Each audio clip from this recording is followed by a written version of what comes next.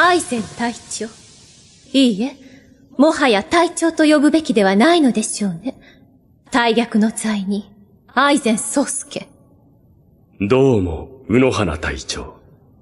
来られるとすればそろそろだろうと思っていましたよ。すぐにここだとわかりましたか？いかなる理由があろうとも、立ち得ることを許されない完全均等区域は、精霊帝内。Ichigo, I have been meaning to ask you something.